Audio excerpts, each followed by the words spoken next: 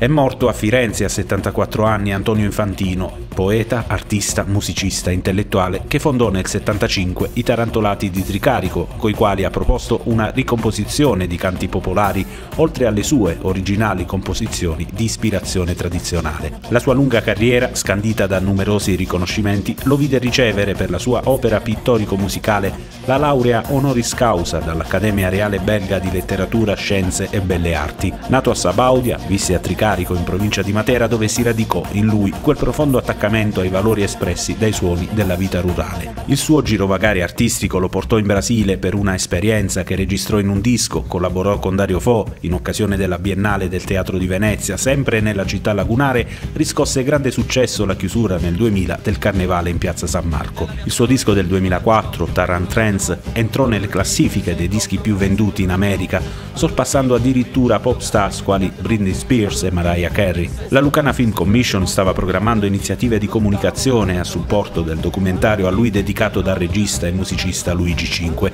iniziative che, assicurato il direttore della Fondazione Leporace, saranno portate avanti, pur senza il suo carisma, per ricordarlo come merita. Riportiamo dagli archivi di TRM Art la nostra ultima intervista ad Infantino, avvicinato ad Aliano in occasione del festival La Luna e i Calanchi. Io Carlo Levi quando ero bambino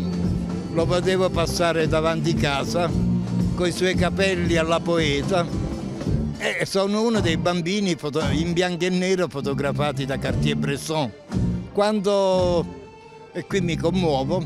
a Firenze in una mostra di Carlo Levi lo incontrai, ero ragazzino appena arrivato a Firenze, dice maestro, maestro, io, sono uno di quei bambini in bianco e nero con gli stracci addosso eh, che vi vedevo passare davanti casa e, e lui co, co, veramente con amore, con gli occhi che emanavano energia viva, si vedeva pieno di gioia, dice oh che bello! E queste sono le cose, cioè, quindi per me è un dovere verso quanto Carlo Levi ha dato a questa terra.